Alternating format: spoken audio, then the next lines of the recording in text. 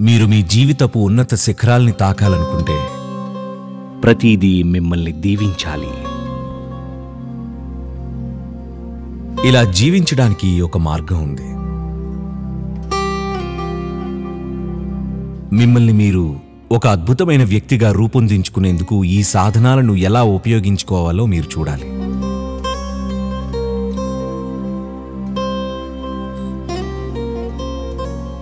కాబట్టి ఈ ఏడు నెలలు ఎలా రూపొందించబడ్డాయంటే మీకు తెలిసిన దాన్ని వదిలి తెలియని దానిలోకి సుముఖతతో అడుగుపెట్టేలా.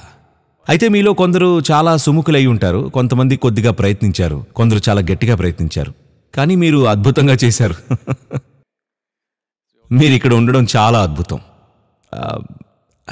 చాలామంది సాధన పాద వాళ్ళు నిజంగా చాలా అద్భుతంగా ఉన్నారంటున్నారు. అది చాలా మంచి విషయం.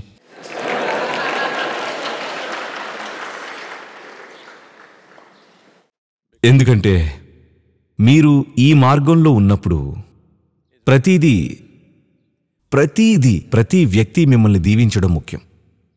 మీరు నేల మీద నడిస్తే భూమాత మిమ్మల్ని దీవించాలి ఈ వ్యక్తి ఎదగాలి అని. ఎందుకంటే అందరి దీవెనలు కావాలి.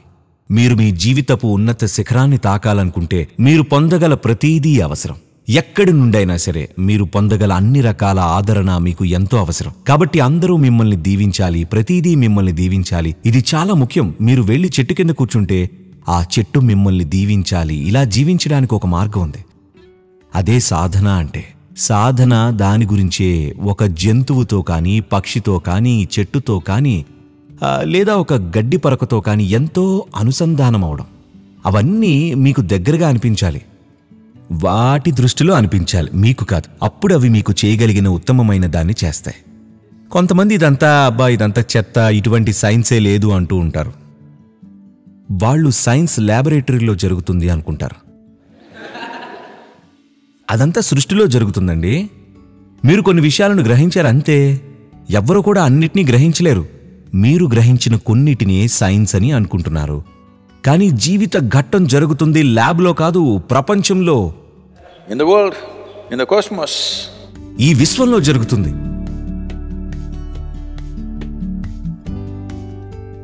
కాబట్టి ఒక సానుకూల వాతావరణాన్ని కల్పించడమే ఈ సంస్కృతి యొక్క ముఖ్య ఉద్దేశం.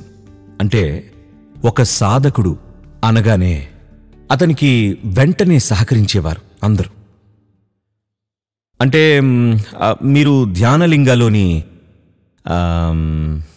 శిలా ఫలకాలను చూసుంటారు కదా? అవి తమిళనాడులోని మునులవి ఇంకా సిద్ధులవి. ఇందులో ఒకటి ఇలా వర్ణిస్తుంది. మీరు సాధకులైతే ప్రజలు తమ జీవితం చిక్కుల్లో ఉన్నా కూడా తమ గురించి ఆలోచించరు. నిజానికి వారికి వారి పిల్లలకి తినడానికి తిండి లేకపోయినా సాధకులని గాని చూస్తే ముందు వారికి తిండి పెడతారు. ఎందుకంటే వారికంటే సాధకుడు తన జీవితాన్ని సార్థకం చేస్తున్నాడు అని. అటువంటి సంస్కృతిని మనం సృష్టించాలి. అంటే అలాని మనం ఆహారం కోసం ఒకరి దగ్గర యాచించాలని కాదు అందుకు ఇతర మార్గాలు కూడా ఉన్నాయి. నేను ఎకనామిక్ ఫోరంలో ఉన్నప్పుడు అందరం చాలా బిజీగా ఉన్నాం. మీటింగ్ తర్వాత మీటింగ్లతో అందరూ ఒక మీటింగ్ నుంచి ఇంకో దాన్ని పరిగెడుతున్నారు. ఐదు రోజులు వెర్రిలా ఉంది అయితే అక్కడ ప్రతి చోట కొన్ని కాఫీ కౌంటర్స్ అంటే ఈ చిరుతిండి అల్పాహారం కౌంటర్లు ఉన్నాయన్నమాట. అవన్నీ అక్కడ పెట్టున్నాయి. ఎవరైనా వెళ్ళి అక్కడ ఏం కావాలంటే అవి తినేయచ్చు తీసుకోవచ్చు. లంచ్కోనో డిన్నర్కో వెళ్ళే సమయం లేదు. నేను నేను ఎవరి మీద జాతి వివక్ష చూపించట్లేదు. కానీ నేను ఒక చిన్న విషయాన్ని గమనించాను. చాలా చిన్న విషయాన్ని గమనించాను. చాలామంది సూటు బూట్ వేసుకొని ఇలా వచ్చారండి లోపలికి. వచ్చి నచ్చింది తింటున్నారు నచ్చకపోతే అలా తీసుకెళ్ళి చెత్త కుండీలో వేసి వెళ్ళిపోతున్నారు అక్కడి నుంచి వెళ్ళిపోతున్నారు. భారతీయులు కొద్దిగా ఆగి మెల్లగా తీసుకొని వెళ్తున్నారు. జపాన్ వాళ్ళు అందరూ అంటే గొప్ప గొప్ప అధికారులు అంటే దర్జా తెలియని వాళ్ళేం కాదు. వాళ్ళు వచ్చి కౌంటర్ ఐదు అడుగుల దూరంలో ఉండగా ఆ దగ్గరకొచ్చి ఇలా వంగి తీసుకుంటున్నారు వంగుతున్నారు. నేను అది పదే పదే గమనించాను. తెలుసా? ఇది అద్భుతం అనుకున్నాను. వాళ్ళు దాన్ని మరొకరి నుండి అందుకోవడం లేదు ప్లేట్ అక్కడ పెట్టి ఉంది. కానీ ఆహారాన్ని తీసుకోవడానికి దాని పట్ల కృతజ్ఞత భక్తిభావం ఉండడం వల్ల ఆఖరి కొన్ని అడుగులు వంగి వెళ్తున్నారు. అది కూడా పూర్తి ఒక పెద్ద కార్పొరేట్ వాతావరణంలో. అందరూ సూటు బూటు వేసుకున్నారు. నీట్గా రెడీ అయి ఉన్నారు టక్ చేసుకుని ఉన్నారు అందరూ. వారు ఎరుకతో చేయడం లేదు కానీ అలా జరిగిపోతుంది. అంతే. నేను అక్కడ కూర్చొని పదే పదే వాళ్ళలా చేస్తుండడం గమనించాను. జపాన్ వ్యక్తి తీసుకోవడానికి వచ్చినప్పుడల్లా వాళ్ళు వంగి వెళ్ళి ఇలా తీసుకుంటున్నారు. మనకు కావాల్సింది ఇదే కదా అని అనుకున్నాను.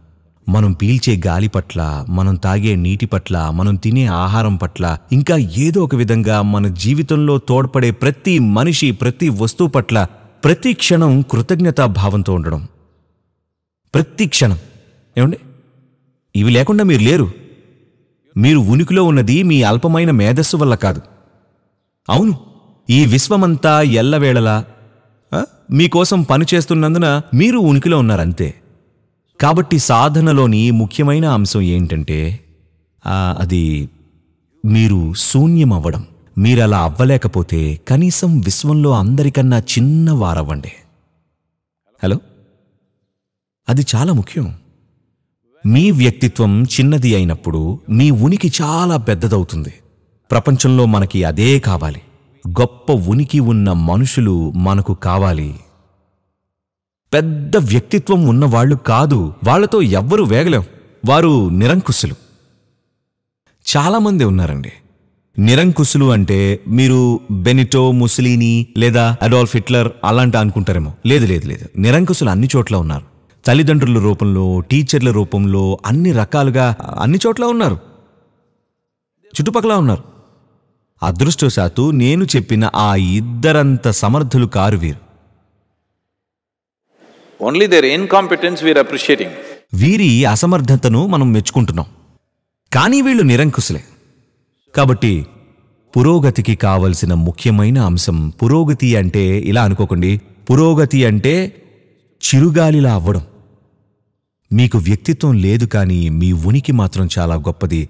అప్పుడు మీరు ఎందులోనైనా ఎందులోనైనా ఎమడగలరు ఇది చాలా ముఖ్యం. ఫ్లెక్సిబిలిటీ. అంటే కనీసం శరీరాన్ని అయితే కొంచెం ఫ్లెక్సిబుల్గా చేసాం గత కొన్ని నెలల్లో కొంచెం వంచి విరగ్గొట్టేశారు మిమ్మల్ని కదా? ఇంకా విరగ్గొట్టాల్సి ఉంది. శారీరక ఫ్లెక్సిబిలిటీ మాత్రమే కాదు ఒక జీవంగా మీరు ఫ్లెక్సిబుల్ అవ్వాలి. మీరు ప్రపంచంలో ఏదైనా చేయాలంటే మీరు ఎటువంటి పరిస్థితిలోనా ఇమడగలిగి దాన్ని పరిణితి చేయగలగాలి. ఇమడలేకపోతే పరిణితి చేయలేరు. అదే విషయం. కాబట్టి ఏడు నెలలు అయిపోయాయి కనుక ఇంటికి వెళ్ళడమో ఇక్కడే ఉండిపోవడమో ఏదైనా చేయడమా? మీకు ఇంకా ఇల్లు ఉందనుకుంటున్నాను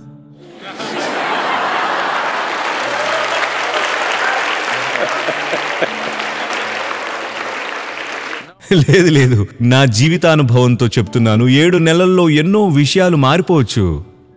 ఎన్నో విషయాలు మారిపోవచ్చు. ఎవరికి తెలుసు?